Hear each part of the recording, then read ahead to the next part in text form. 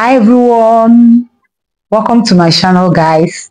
In today's video, I'm going to teach you how to design a YouTube thumbnail that stands out and grabs viewers' attention. If you are coming across my channel for the first time, you are welcome to the family. I'm Golden IJ and I make tutorial videos on non-coding tech skills and video editing. And in today's video, I'm going to teach you a simple way to design a YouTube thumbnail in Canva app in less than 3 minutes. Uploading videos on YouTube requires planning. Whenever you want to upload on YouTube, the first thing you should do is to choose a title. After you've chosen a title, design your thumbnail because it is the thumbnail and your title that will attract someone scrolling through YouTube to click on your video. This might not be true for large YouTubers because there are people that have already grown their followers on YouTube. So whatever they put out there, their videos will still get viewed. People will still watch it. But for new YouTubers, you need to put in a lot of work. Your thumbnail should stand out. Your title should be superb for you to always attract people to view your, your video. The first thing, your YouTube thumbnail should spark curiosity. People should be able to come across your YouTube thumbnail and want to know more. If there is no curiosity, if it does not spark that curiosity, it will just be common. They will just scroll by and they won't even notice your video or your channel. So, so the first thing is that it should spark curiosity. The next one is that it should pass the glance test. For your YouTube thumbnail to pass the glance test, use a clear font. Do not use cursive. Avoid using tiny fonts. Do not cluster the thumbnail with write-ups and images. There should be a focal point. If, if the eye has to stop to search for what is happening on your thumbnail, it no longer passes the glance test. Avoid repeating your title or your thumbnail. Show emotions if you can. There should be contrast between the background color and your font color. They shouldn't be the same. The font color should complement the background color. So, so as to make your thumbnail stand out. Having learned all these, let's go over to Canva app to design the YouTube thumbnail proper. But before we do that, I will appreciate if you subscribe to my channel and engage on my video by liking the video and commenting so that YouTube will suggest the video to other people. For me to design a YouTube thumbnail, the first thing I will do is to open Canva app. Click on this plus sign and then YouTube thumbnail.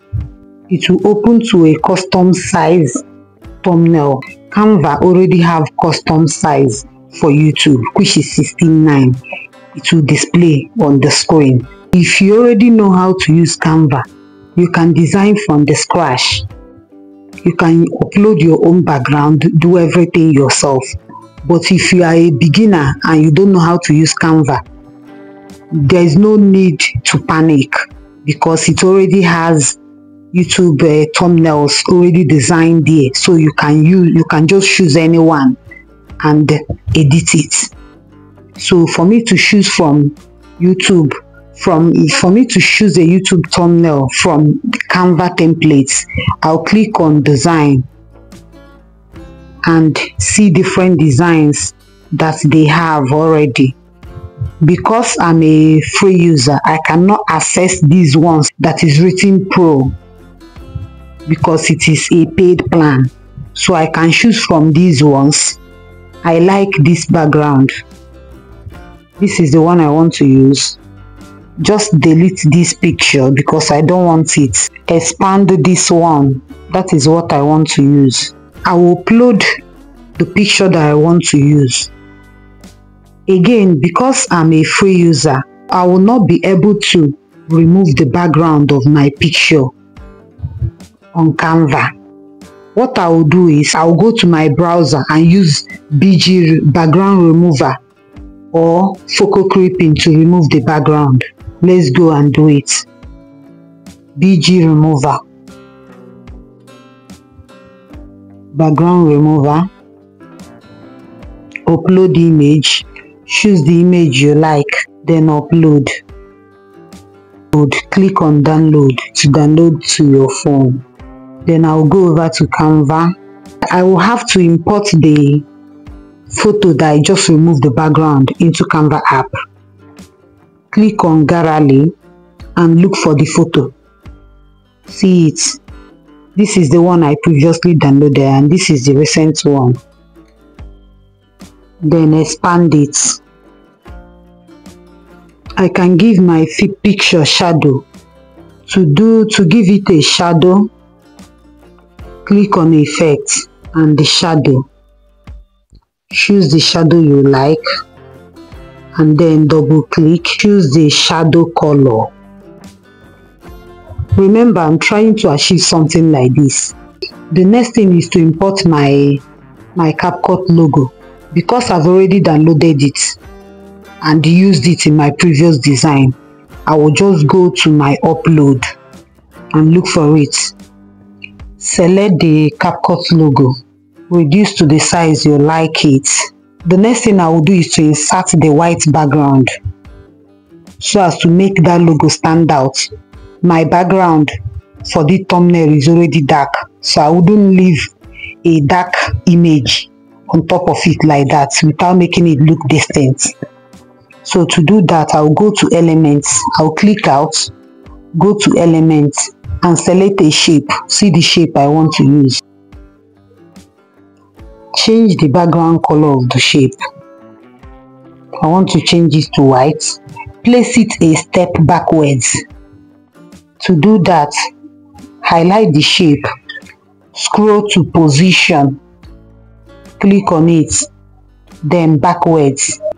The next thing I will do is to now start imputing my text to do that, click on text, choose the one you want, then write what you want to. Then I want to write CapCut. Let me choose font size. After you must have increased your font size, the next thing is to choose your font. That's font, the font type. I'll click on font then select the font I want to use.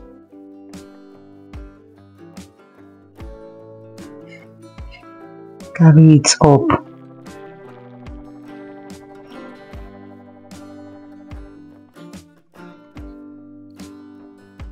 Zoom effect then let's style it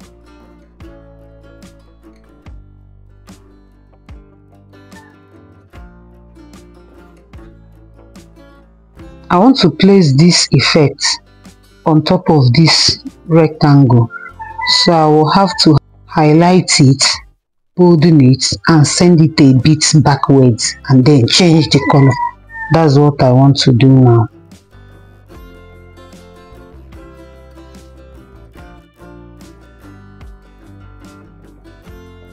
Then change the font color of that text I will also change the font style.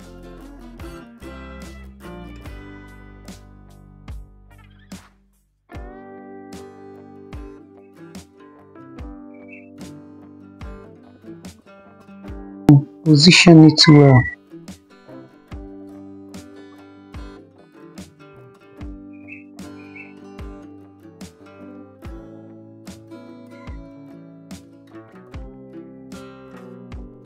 Did you notice that even if without adding any other thing to this thumbnail that it is ready and immediately someone sees it the person will know what I'm talking about. But then if I want to touch it up a little bit more let me just add that CapCut interface